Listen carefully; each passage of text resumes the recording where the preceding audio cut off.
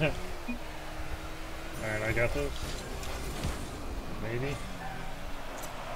There we go. Yeah, I told you. Don't give up. Woo! I'm gonna give you a Ric Flair on that one.